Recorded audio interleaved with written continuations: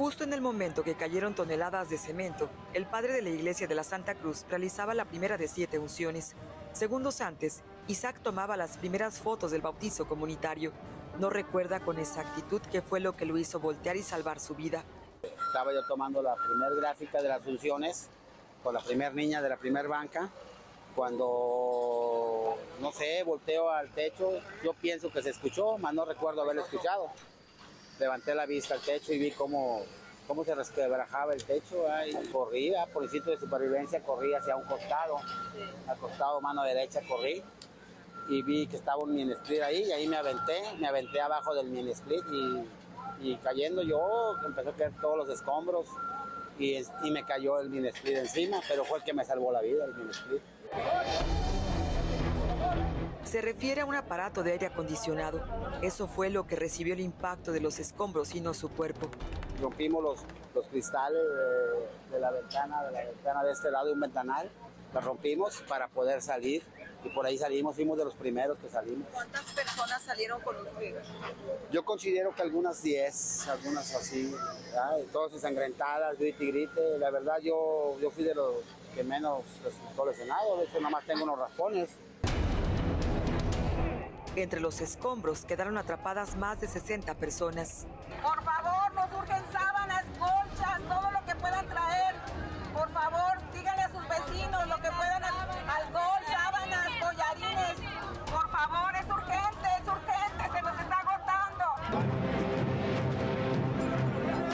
Murieron bajo el techo de la iglesia y una más este lunes en el hospital a consecuencia de los golpes. Lo que sí escuché fue mucho lamento, llantos, gritos, llantos, gritos se escuchaban. ¿De niños, de mujeres, de hombres? Sí, de, de todo, de niños, hombres, mujeres, adultos. O sea, se oía el griterío, los lamentos, quejándose la gente.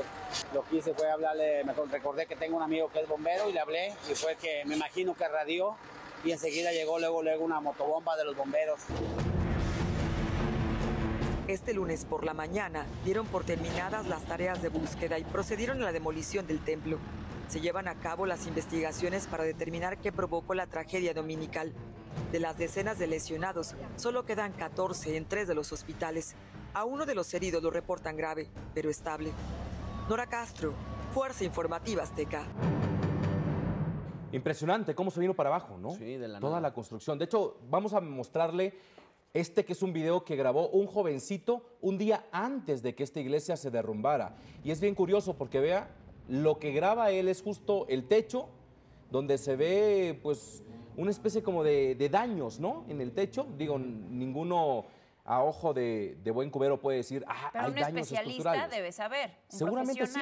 Si un especialista ve eh, este tipo de detalles, pudo haber eh, detectado un algo. Y este es un antes y un después. Así lucía la iglesia y así luce ahora después de este derrumbe fatal. Por lo menos estamos hablando de una iglesia que tenía 40 años y según las autoridades católicas sí había recibido mantenimiento. Que tampoco es tanto, a ver, 40 años sí, pareciera mucho, pero pues hay estructuras que han soportado durante 80, 90 años. Habrá que ver cuántas más se encuentran en esas condiciones y cuántas más estarían en riesgo justamente de pues matar personas. Entonces,